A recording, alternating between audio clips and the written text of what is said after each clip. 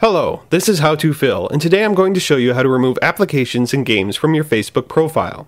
If you're like me, you may have granted access to several applications and games on Facebook, but have found over time that all of the messages, wall posts, and so forth from these applications and games become irritating, especially for those applications you no longer use and games you no longer play.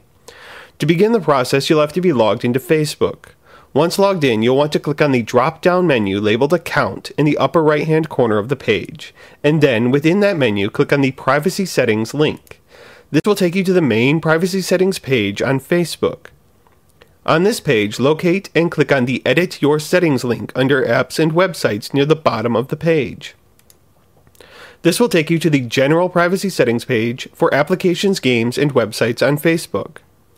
On this page, locate and click on the Remove link in the Apps You Use section.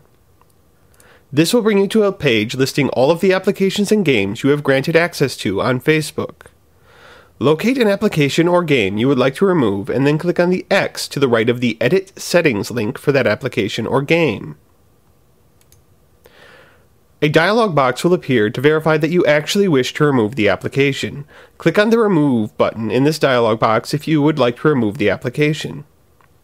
A new dialog box will appear indicating that you have successfully removed the application. Click on the OK button. You may remove as many applications as you like in this way. I hope this has helped you. Thank you, and have a nice day.